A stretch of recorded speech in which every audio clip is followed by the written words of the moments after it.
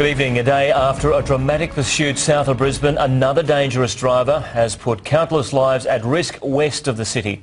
For 90 minutes, the alleged car thief drove through farmland and busy roads in the Brisbane Valley. The drama unfolded with the 7 News helicopter above. It ended when a brave officer took the man down near Gatton.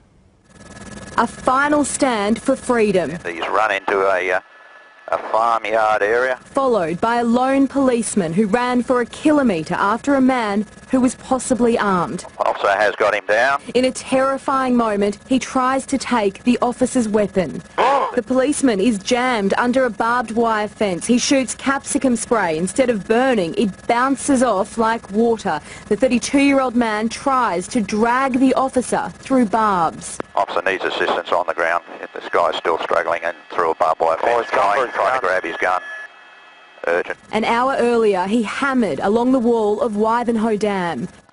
The driver had no idea police were waiting with stingers. Oh, we're just setting up. But it was too dangerous to spike the stolen ute with a dirt bike in the back. And it was between a truck and another vehicle. He became even more reckless. Oh, that was close. Flying through farmland, he took off over the Warrego, heading for Gatton. He drove on the wrong side of the road, narrowly avoiding several head-ons with innocent drivers. Oh. He was speeding, weaving around cars. Another ute tried to run him off the road. He became more erratic, taking the wrong side of the road on blind corners. A driver attempted to use his own car and life as a barricade. It annoyed me what he did, and I was just saying, well, mate, and it was it was more it was originally more just to get his um, um, rego. Another stinger attempt was foiled. The driver must have known he was trapped. He spun out on a dirt road. He just lost it on the uh, second of those uh, 90 degree bends. And nearly wiped out another car.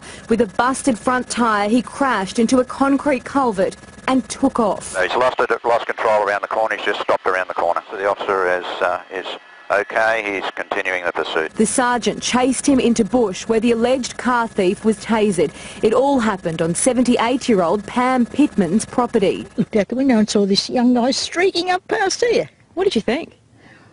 What do you want? The man was bleeding and claimed to have breathing problems. Just open your eyes for a sec. See down the driveway? Just about there. Police say before sunrise he broke into a house at Twin Waters on the Sunshine Coast while Gary Carlson's wife was sleeping. This guy just came from nowhere and he's hit me.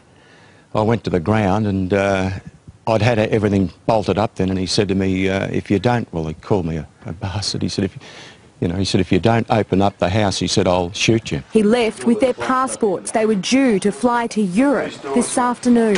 We had three nights in Venice. So we won't be, won't be making that. Their passports were found inside the ute. The offender was taken to hospital, so was the policeman, who only returned from a five-week holiday yesterday. The police officer says he didn't think twice about chasing after a man who may be armed and prepared to shoot. The 32-year-old claims he's too unwell to be questioned. Police are still searching for the firearm he threatened to use. Erin Edwards, 7 News.